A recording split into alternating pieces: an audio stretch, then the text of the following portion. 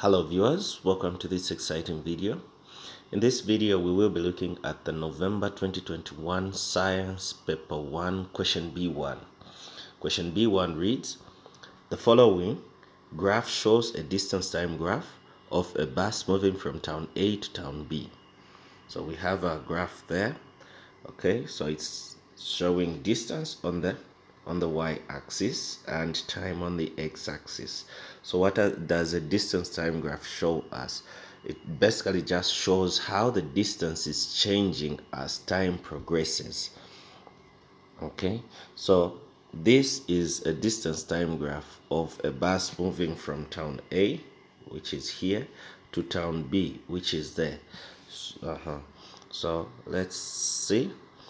Uh, question a what is the total distance between town A and town B, the total distance. So for us to find the total distance, we only look at the distance axis, which is the y-axis. So what we are going to do is we are going to go uh, where town B is. So this is where town B uh, is. And we project that so that it comes to the uh, distance axis like that. So the value here okay the value here is what we are looking for. So we uh, uh, now start taking the the reading. So we know that from 0 you can see 0 this is 10 now how many divisions are between 0 and 10 we have 1 2 3 4 5 we have 5 so it means that every division represents 0.2 because 10 divided by uh, 10 divided by 5 is 2. So each one of them represents 2. So 50. Okay. So if we start here, this is 50. It means the next one is 52, 54, 56, 58. So the point we are looking for here represents 58 so this point right here represents 58 kilometers. So the answer for that particular question is 58 kilometer. Now you can see there is a one mark there representing showing us uh, it just gives us a clue that there isn't so much working that uh, goes into answering this question. So we'll just write our 58 kilometers. All right. Always take note that the k in kilometers should be a small letter k because it is a prefix standing for times 10 to the power 3 or it stands for a thousand. All right. We proceed to the next question. Uh-huh. The bus stopped at a station between town a and town b. For how long did the bus stop at this station the bus stopped at a station between town A and town B. For how long did the bus stop at this station? So uh, we need to identify. So when something stops, the distance stops changing. The distance from from where it started stops changing. Okay, and the longer it takes for that action uh, that will be our time. So as we can see that when it started from town A the distance was changing. The distance was changing not until it reached not until so not until it reached this point. At this point the distance stops changing up to this point. So where the distance was not changing or where the graph was parallel to the time axis meaning that uh, the, the the vehicle or the bus was not moving. So it is the time. We are looking for the time between we are looking for the time between these two points this point and this point. Okay So we are looking for the time between these two points. So what is the time between these two points? So here we can see that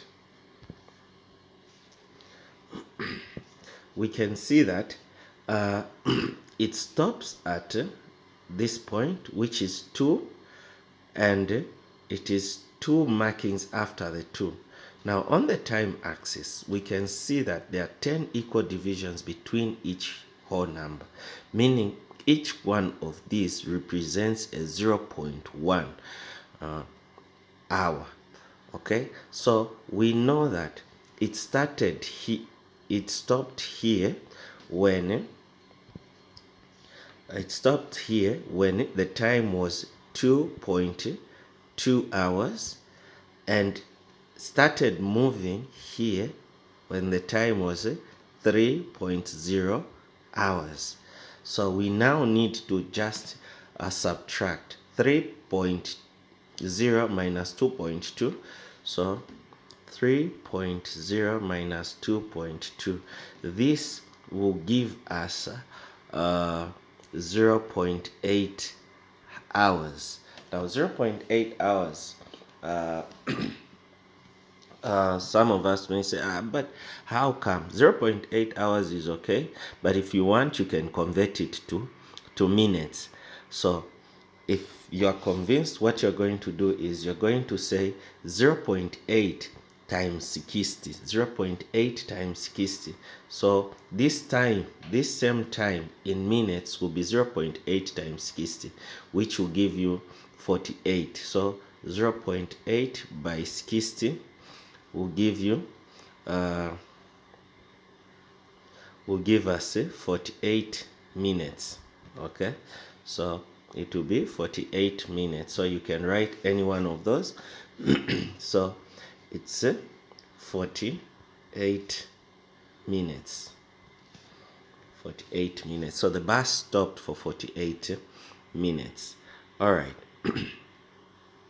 Now we go to C calculate the speed of the bus between town A and the first station. Calculate the speed of the bus between town A and the first station. So we come back to the graph. So they are saying the station is here okay? And we know that the time when it stopped was 2.2 hours. Now what was the distance covered to reach the first station? So it covered a distance. So we project to the time axis to, to find our distance. So we find that the distance covered was actually 30 kilometers. So between town a and the first bus station uh, there was 30 kilometers. So what we're going to do is we're going to uh, say that distance our speed speed is equal to distance over time which will be equal to 30 kilometers divided by 2.2 okay? 30 kilometers divided by 2.2 so 30 divided by 2.2 which is 13.6 13.6 kilometers per hour 13.6 so this uh, gives us 13.6 kilometers per hour. Why kilometers per hour? Because the distance is in kilometers and the time is in hours. So it will be kilometer per hour. So that is how we find that one. Now we go to d D is saying calculate the average speed for the whole journey. Calculate the average speed for the whole journey. Now, when you're calculating the average speed for the whole journey, uh, you overlook the fact that at some point the bus stopped.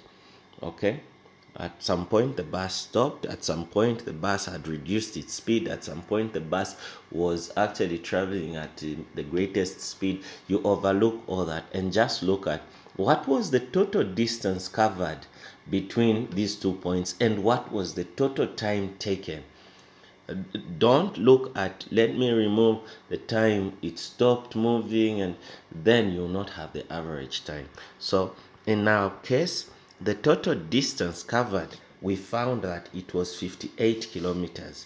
Okay, but what was the total time? Now, town B, it may show that town B is here. However, the bus had reached this point here okay because the distance was achieved. This is just it it meant what this straight line means that the bus had stopped moving way before the graph shows us that it had reached meaning that the bus had already reached. It's only that the person who was recording the time may have maybe uh, forgotten about their job and stopped the, the stopwatch way after they had reached their destination hence having a graph like this. So the time the total time we're going to take is the one that comes down at this point okay? When it, the bus had just stopped moving which is four hours. So we are going to say that the time is four hours the total distance is 48 kilometers. So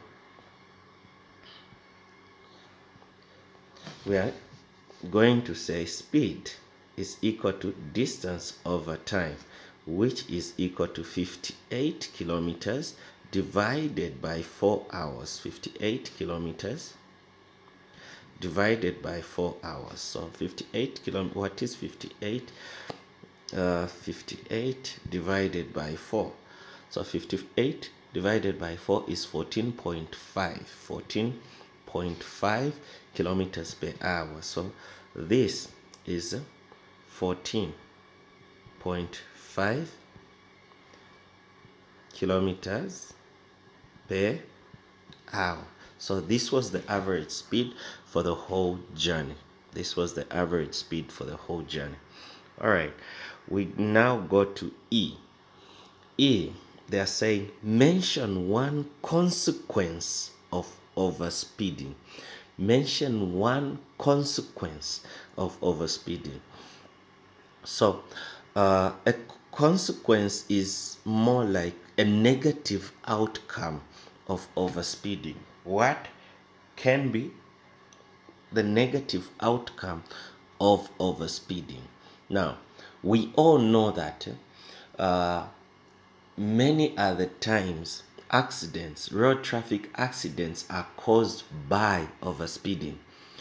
But it is not always that overspeeding has led to road traffic eh, accidents. Okay, so we cannot say that overspeeding leads to road traffic accidents because it is not always. But we can say that overspeeding may lead to road traffic eh, accidents. It may lead. We are saying may because it is not always okay so we can say it may lead to accidents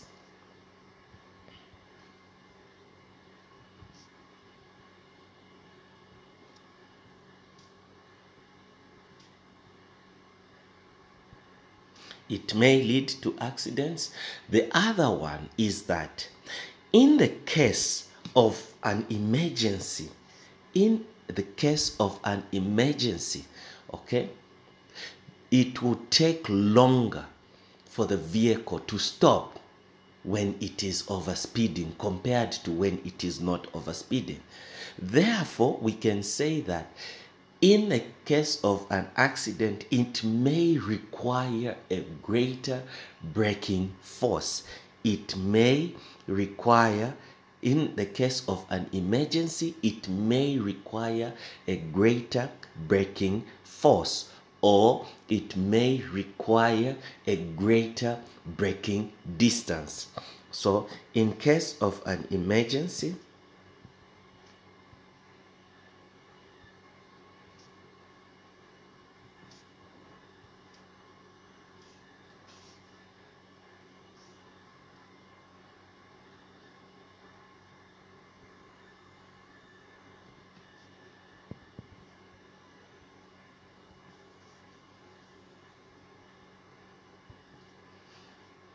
not not may it will require a greater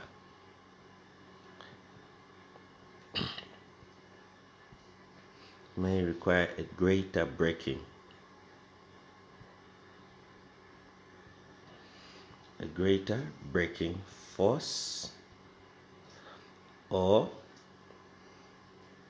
this distance Now, what this means is that if something requires a greater braking force, it means it will not stop uh, as the driver intends because uh, it, it, it will cover more distance for it to, to stop. So this brings us to the to this video.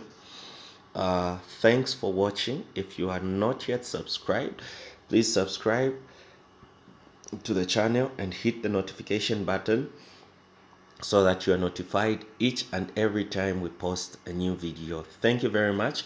Watch out for the next video which looks at uh, question b2 uh, question b2 from the same paper. And if you want a copy of the paper uh, please put it in uh, in the comment section i will gladly share a link where you can download this paper and uh, other papers uh, from the same year. Uh, thank you very much.